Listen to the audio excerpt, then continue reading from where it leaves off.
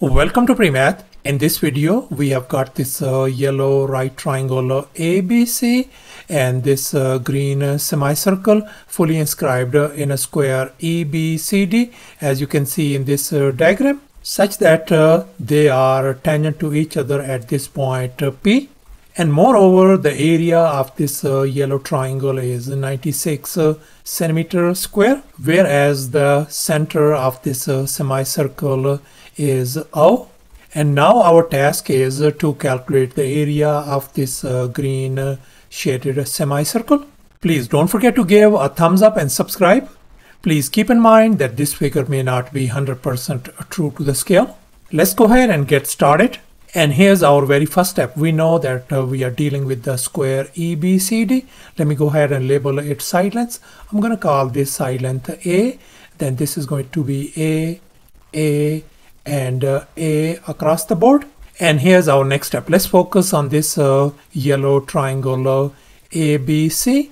It's a side length. Uh, this is A. Let me call uh, this other side length uh, as lowercase b. And we know its area has been given to us as 96.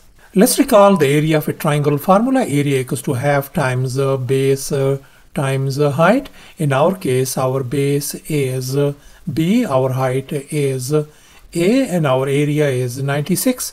So let's go ahead and fill in the blanks in this uh, formula. So it's going to become 96 equals to 1 uh, divided by 2 times A and times B. And now let's multiply both sides by 2 to remove this uh, fraction and now we can see we got uh, 192 equals to a times b. So our a times b value turns out to be 192 let me call this our equation number one. And now let's make an observation. We know that this uh, whole uh, side length uh, eb is uh, a. And this uh, side ab is lowercase b so therefore uh, this uh, length uh, EA is going to be A minus B. And now let's recall the two tangent uh, theorem. According to this theorem, if two tangent segments are drawn to one circle from the same uh, external point, uh, then they are congruent. So therefore we can see that this segment CD and this segment PC are congruent they are equal in length. If this side length is uh, lowercase a, then this uh, side length is going to be lowercase a as well. And likewise, uh, these two tangents EA and PA are congruent as well. So this is equal to this one.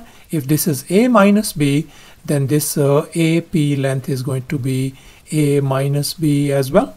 And now let's make an observation. We can see that this uh, AC length uh, is going to be the sum of these two individual lengths, uh, AP and uh, this uh, PC. So therefore, if we add uh, these ones, I can write A plus A minus B. That is going to give us 2A minus B. So therefore our AC length turns out to be 2A minus B. And now let's focus uh, once again on this uh, yellow right triangle ABC. And now we are going to apply the Pythagorean theorem. And here's our uh, Pythagorean theorem, a square plus b square equal to c square. And our longest leg uh, is 2a uh, minus b. And our other legs uh, are a and b. So let's go ahead and fill in the blanks in this uh, Pythagorean formula.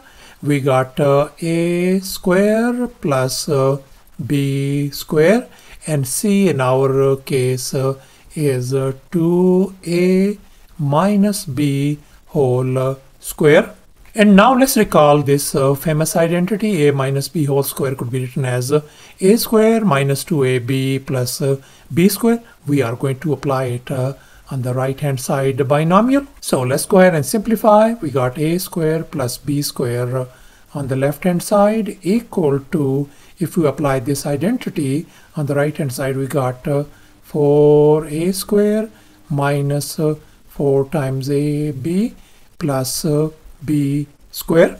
And now we can see b square and b square on both sides. They cancel each other out. Let me go ahead and move this uh, negative 4ab on the left hand side. And at the very same time, I'm going to move this uh, a square on the other side. So therefore, we can write uh, 4 times uh, ab equal to 4a square minus uh, a square. Let's simplify this one. So this could be written as 3a square equal to 4 times ab. And now we know that our a times b value is 192 from this equation 1. So let's go ahead and substitute uh, that uh, a times b value on the right hand side 4 times uh, 192 so we got uh, 3a square equal to 768. Let's divide both sides by 3 to isolate a square. So a square turns out to be 256. Let me go ahead and undo this square by taking a square root on both uh, sides. And here we can do square and square root cancel each other out. So therefore our a value turns out to be positive 16. So therefore uh, this uh, side length of the square DE turns out to be 16 centimeter since uh, A is the side length and moreover this uh, DE is the diameter of this uh, green semicircle. If the diameter is uh, 16 then the radius of this semicircle is going to be 8 uh, centimeter. So thus the radius uh, of this uh, green semicircle turns out to be 8 uh, centimeter. And here's our final step. Let's go ahead and calculate the area of this uh, green uh, semicircle. And now let's recall the area of a circle formula. Area equals to pi r square, where r is the radius of the circle. And in our case, our radius is 8. So therefore the area of uh, this uh, semicircle is going to be pi times uh, radius 8 uh, whole square and we are going to divide it by 2 since we are dealing with the semicircle. Let's go ahead and simplify. So we got on the top uh, 64 pi divided by 2. So that is going to give us uh, 32 pi so thus the area of this uh, green semicircle turns out to be 32 pi centimeter square. And in terms of decimal, it's going to be equal to 100.53 centimeter square. Thanks for watching and please don't forget to subscribe to my channel for more exciting videos. Bye.